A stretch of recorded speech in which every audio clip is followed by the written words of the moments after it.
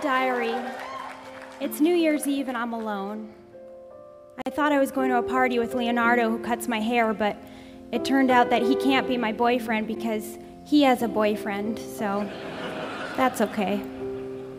At least there's no pressure, and when people ask how you are, to say great, which, if the truth be told, I'm not.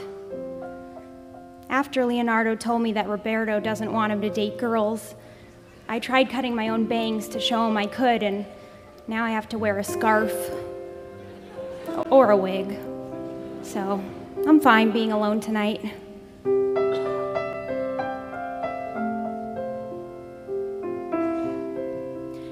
I wonder what Eric is doing tonight. What a downer he was. New rule never go out with a comedian.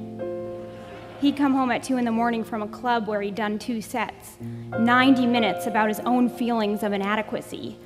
And he cried himself to sleep and lay there moaning, Teresa, Teresa, all night long. My name's Emily, so yeah, that didn't work so well either.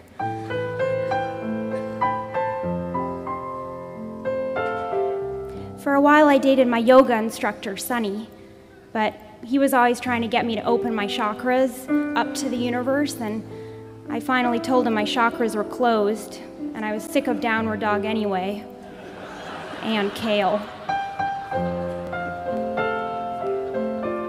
Then I dated my plumber named Joe. My toilet was clogged, and in the middle of the night, it overflowed into my apartment. Joe totally cleaned it all up and even changed the carpets. I thought it was so sexy that he wasn't afraid to get his hands dirty, but after two weeks, he told me he thought I used too much toilet paper. And I told him he didn't understand women. And that relationship went down the toilet.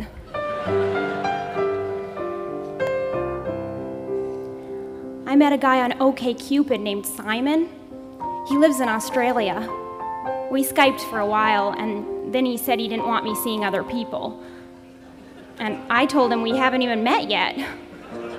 He felt like it was love at first sight, and I said, How can you even tell when your screen is all blurry? I signed out and never signed back in again.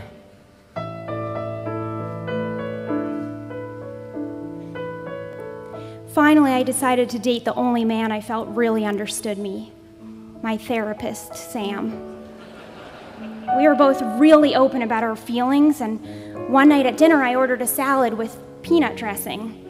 And he broke down sobbing and told me how he was allergic to nuts. And when he was a boy, he had to sit at a special school cafeteria table labeled nut free. And all the other boys laughed at him. He stopped returning my calls, and I asked if it was because of the peanut dressing. And he said yes, and also you missed your last two payments.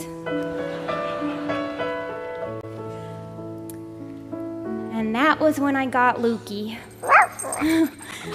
he adores me. I used to make fun of single girls who love their dogs. I don't anymore.